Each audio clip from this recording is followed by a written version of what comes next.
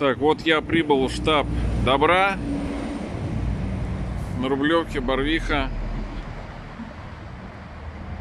Привез в создаваемую студию картины, штатив, ноутбук, веб-камеру из лаборатории У.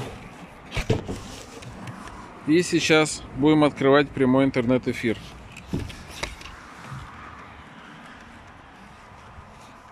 будет работать чат.